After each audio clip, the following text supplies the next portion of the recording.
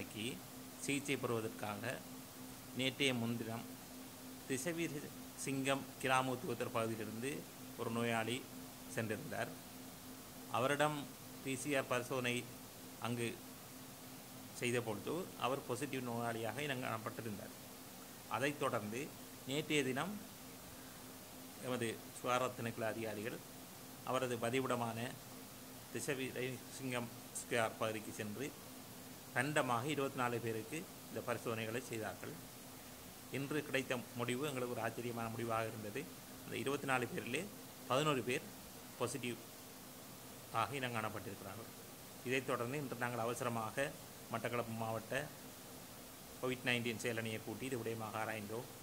அதன் அடிப்படையிலே இன்று எமக்கு கிடைத்த அறிக்கைகளின்படி மொத்தமாக நேற்றைய தினம் முப்பத்தி ரெண்டு பேர் பாசிட்டிவாக இனம் காணப்பட்டுள்ளார்கள்.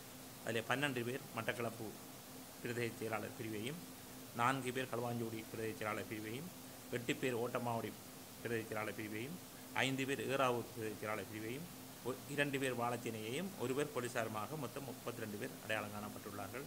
எனவே இது சம்பந்தமாக ஆராய்ந்த பொழுது உடனடியாக திசவீர சிங்கம் கிராம உத்தியோகத்தர் பிரிவை தனிமைப்படுத்தப்பட்ட பகுதியாக கோவிட் செயலணிக்கு சிபார் செய்ய வேண்டும் என்று ஏகமனதாக நாங்கள் முடிவெடுத்தோம். எனவே அந்த முடிவு இன்று உடனடியாக செயலணிக்கு அறிவிக்கப்படுகின்றது.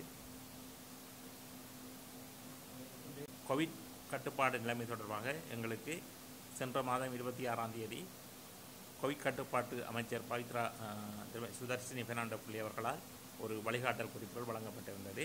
அதை நாங்கள் தீவிரமாக மட்டக்களப்பு மாவட்டத்தில் நட நடைமுறைப்படுத்தி கொண்டிருந்தோம். இருந்த போதிலும் அந்த வழிகாட்டல் குறிப்பை கொஞ்சம் இறுக்கமாக்கி கடந்த முதலாம் தேதியிலிருந்து சுகாதார திணைக்கள பணிப்பாளர் அவர்களால் மேலும் ஒரு வழிகாட்டல் குறிப்பு நாடு பூராக அமல்படுத்தப்படுகின்றது. இதற்கிணங்க சில விடயங்கள் கண்டிப்பாக தவிர்க்கப்பட வேண்டிய விடயங்களாக சுட்டிக்காட்டப்பட்டுள்ளது. ஆலயங்களிலே ஒன்று கூடுதல் மத வழிபாடுகளில் கூட்டு பிரார்த்தனைகளை ஈடுபடுதல் தனியார் வகுப்புகளை நடத்துதல் இவ்வாறான பல விடயங்கள் தடை செய்யப்பட்டுள்ளது. ஏற்கனவே அனுமதிக்கப்பட்டிருந்த ஐம்பது வீதமான தொகை இருபத்தி ஐந்து வீதமாக குறைக்கப்பட்டுள்ளது. என்பதை பொதுமக்கள் நன்றாக விளங்கிக் கொள்ள வேண்டும். ஏனென்றால் வழிகாட்டல் குறிப்புகள் நாட்டின் மாறி வருகின்ற சூழலுக்கு ஏற்ப இறுக்கமடைந்து கொண்டு வருகின்றது. இதை நாங்கள் மட்டக்களப்பு மாவட்ட மக்களுக்கு தெரியப்படுத்த வேண்டிய பொறுப்பு இருக்கின்றது. சில உடுப்பு கடைகளிலே வீணை கடைகளிலும் பொதுமக்கள் ஒன்றாக கூட்டாக அளவுக்கு அதிகமாக இருப்பதாக எமக்கு முறைப்பாடு கிடைத்துள்ளது.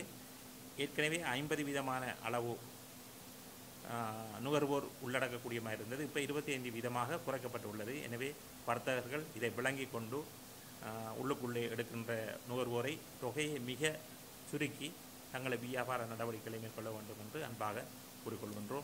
இதைத் தவிர நான் ஏற்கனவே குறிப்பிட்ட மாதிரி ஆலயங்களிலே கூட்டு வா- சென்று பிரார்த்தனைகளில் ஈடுபட முடியாது. இந்த மாதம் ரம்சான் மாதம் பள்ளிவாசல்களிலே கூட்டாக கொள்ள முடியாது. வகுப்புகள் நடத்த முடியாது. சமய வகுப்புகள் நடத்த முடியாது. மரணச் சடங்குகளிலே இருபத்தி ஐந்து பேர் மாத்திரம்தான் கலந்து கொள்ள முடியும். கோவிட் அல்லாத மரணம் சம்பவித்தால் இருபத்தி நாலு மணி நேரத்துக்குள்ளே அதை ஈமை கிரியைகளில் நடத்தப்பட வேண்டும். இவ்வாறான பல கட்டுப்பாடுகள் அண்மையிலே நேற்று வெளியிடப்பட்ட வழிகாட்டல் குறிப்பிலே உள்ளடக்கப்பட்டுள்ளது என்பதையும் இந்த இடத்திலே கூறிக்கொள்ள விரும்புகின்றேன்.